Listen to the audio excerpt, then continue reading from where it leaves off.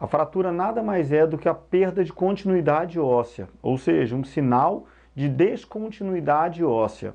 Então, a fratura é um tipo de lesão ortopédica, é um dos tipos de lesão ortopédica mais graves e mais predominantes.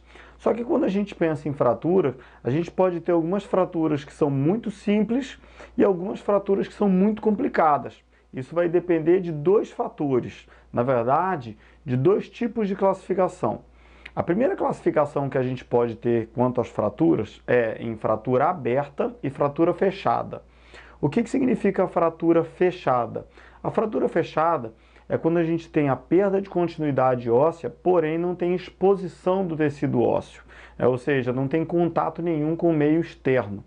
Muitas vezes, nessas fraturas é, é, internas, então, as fraturas fechadas que não são expostas, a gente tem